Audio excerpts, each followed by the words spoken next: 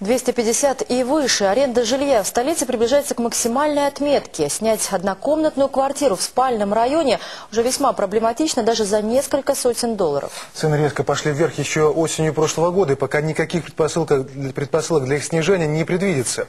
Сергей Гусаченко попытался разобраться, почему дорожает, если и так очень дорого.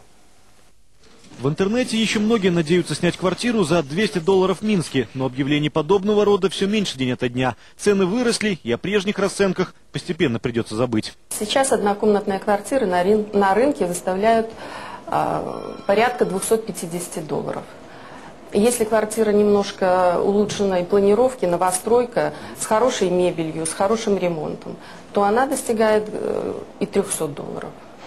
Если и найдешь однушку за 200, это будет скорее эксклюзивный вариант. Без мебели, телефона, где-то на окраине. Словом, выйдет себе дороже. Что касается двухкомнатных, разговор начинается от 300 долларов и выше. Если евроремонт или квартира новая, цена может превысить даже 400 долларов. Трехкомнатные в обычном районе уже ближе к 500 условным единицам. А если в центре, цена может достигнуть и тысячи. Специалисты не скрывают, цены на аренду жилья среднего класса в столице завышены и не соответствуют обстановке на рынке. Улицы Грибоедова и Чехова. Здесь, по словам специалистов, самая дорогая аренда квартир в Минске. Элитное жилье, которое исчисляется не комнатами, а квадратными метрами. Здесь предлагаются квартиры от 140 квадратов и выше. Но увеличение стоимости аренды коснулось и этой категории квартир. Если раньше цены указывали в долларах, то сейчас точно такую же цену указывают уже в евро.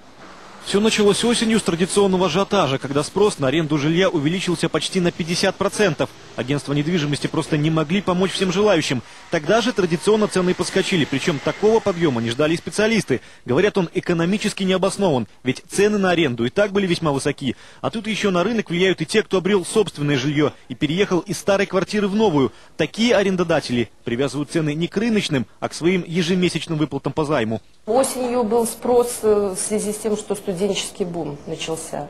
Конец августа, э, начало сентября и весь сентябрь студенты просто атаковали нас. Сейчас в агентствах недвижимости затишье. В это обращается человек 10-15 в день. В субботу в одном из отделов и вовсе не было клиентов. Взять квартиру в аренду зимой гораздо проще. Есть выбор. Можно поездить и посмотреть. Только здесь их в каталоге более 500. Однако, в отличие от спроса, цена вниз уже не пойдет. Ноябрь уже пошел отток, и все просятся за 150 дайте им однокомнатную квартиру. Но, к сожалению. Чего ждать и будет ли лихорадить рынок аренды жилья и дальше? В агентствах недвижимости говорят, резкого скачка цен в ближайшее время не предвидится, по крайней мере до осени. Впрочем, вызовет ли последствия очередной ажиотаж и какие, пока специалисты прогнозировать не берутся. Сергей Гусаченко и Дмитрий Чумак, агентство теленовостей.